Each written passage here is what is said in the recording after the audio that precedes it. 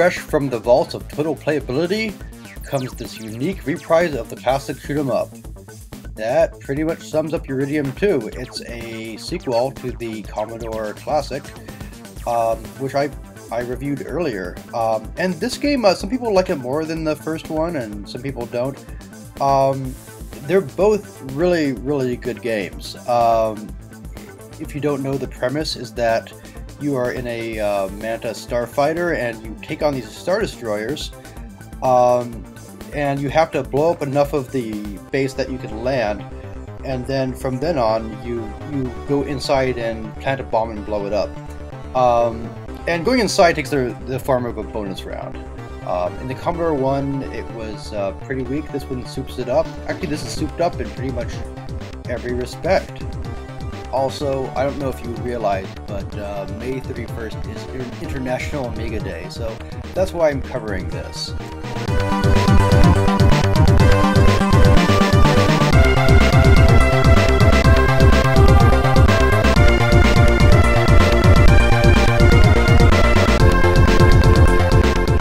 I just uh, wanted the intro to play out a little bit because it's so cool. Uh, the music's so good in this game, the visuals are really good, um, and the gameplay is fantastic. And it's one of those games that hasn't been cloned a whole lot.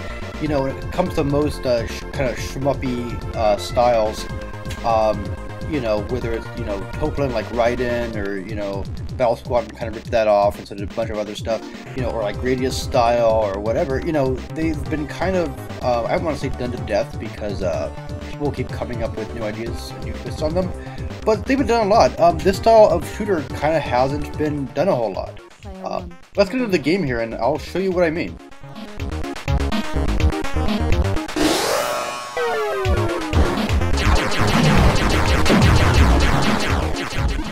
So, just like in the first game, you go kind of back and forth defender style, kind of like a like a side view, top view kind of thing. Um, and you destroy turrets, um, you destroy enemy waves, you get bonuses when you destroy entire squadrons.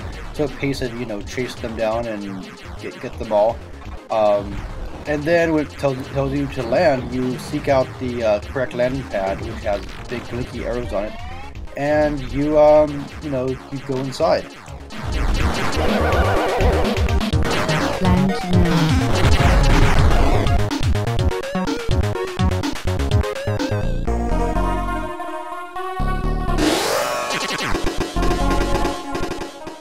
And this is where you shoot the core as it is. Um, you know, it's not that challenging. There's a bit of inertia in this part because um, it's kind of a zero G chamber, and you know, you once this thing goes, uh, it goes in kind of a bonus mode. Your hit points are in the lower left, um, and you know the, the deal is you avoid the the falling rocks because it's self-destructing um, as much as possible. Grab as many powers as you can. You hold down the button in it.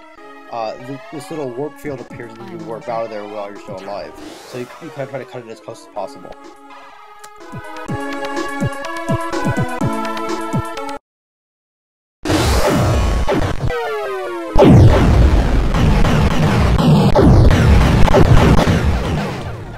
Kind of miss in the first game how uh, you're like flying along it as it's destructing, you know, kind of out, outrunning the explosion, which I think is cooler than this effect here. They're, they're both pretty cool. Uh, oh yeah, and you see those uh, those kind of blue spots. Uh, any kind of contrasting parts of the ship you can you can run into and die. Um, anything that's kind of a shadow under them. And it, it, they set out well from the background. There's not a lot of parts where it's like, oh man, I didn't know I could run into that, you know.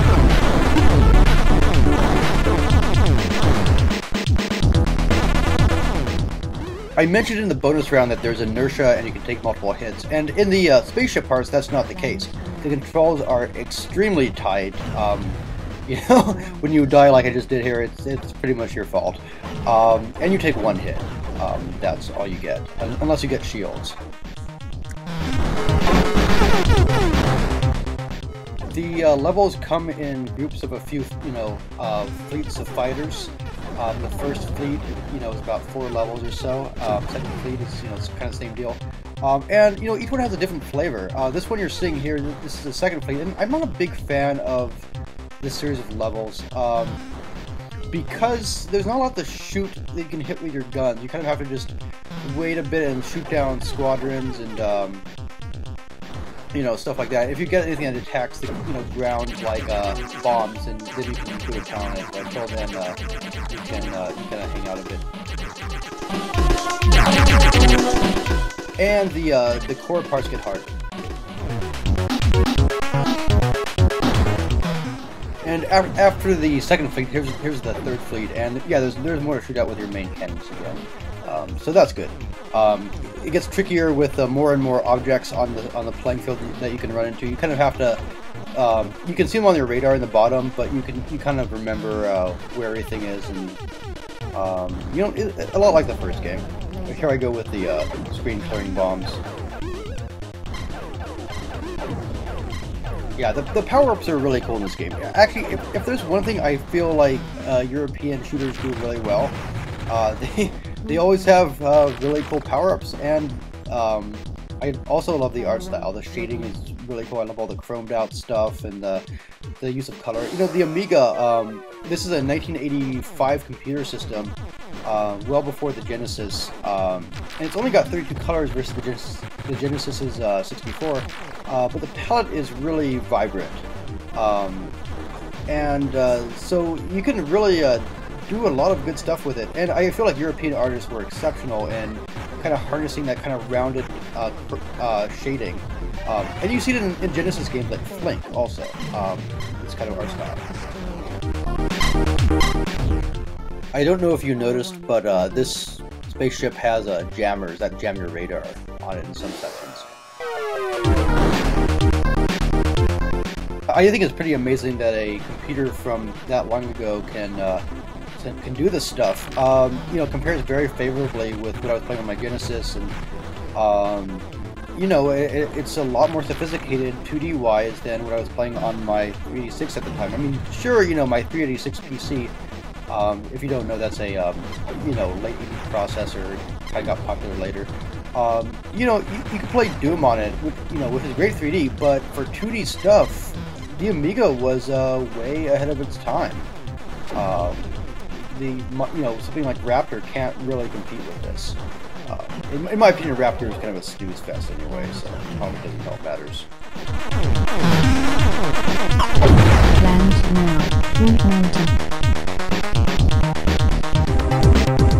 And uh, this game has a lot of really cool options too. There's a few different kinds of two-player modes, and uh, um, so you can do two-player trading off. You can do two players at the same time, where player one kind of steers and player two kind of moves up and down. Um, so you kind of vaguely follow the first player. Uh, you can have a robot uh, sidekick who plays like as a second player also. Um, so there's a lot of good options.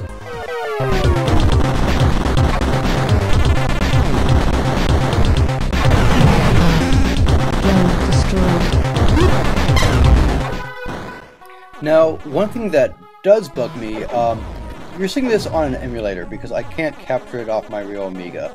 Um, but the uh, it's windowed um, on my system at least. I have my Amiga hooked up um, to a Sony PVM, um, which does 50 hertz, so it's running in PAL, um, or at least 50 hertz NTSC.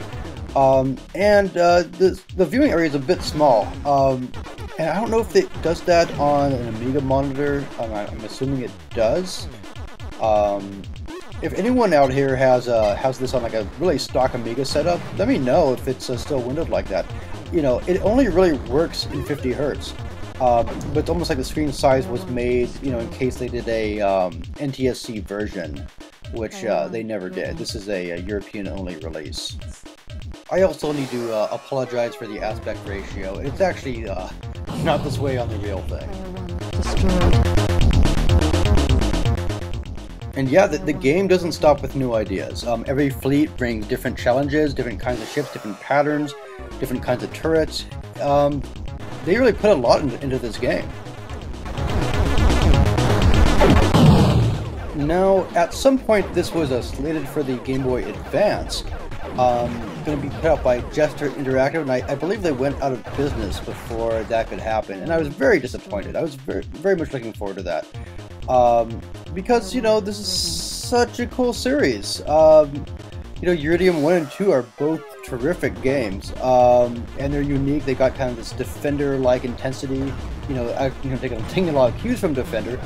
Um, you know, and uh, there's not a lot else out there that kind of fits the bill here.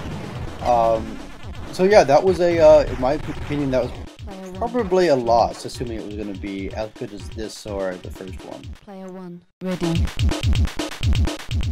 So uh, speaking of key differences between this and the first one, uh, the first one um, has fewer levels um, and gives up fewer lives. This is a much longer game. Um, and in the first one, the destruction you've unleashed on the starship resets after you die. In this, you kind of continue where you left off. Um, and it makes sense, you know, like I said, this is a much longer game, the levels don't repeat the same way. Um, you know, the first Uridium, you get halfway through the levels, the, the layouts repeat, I believe, but with a higher intensity. Um, and it depends what you're kind of, what you prefer. I mean, I, I think I personally prefer the shorter game, um, but uh, this this was pretty magnificent. It, it was actually one of the reasons I wanted to get a real Amiga again.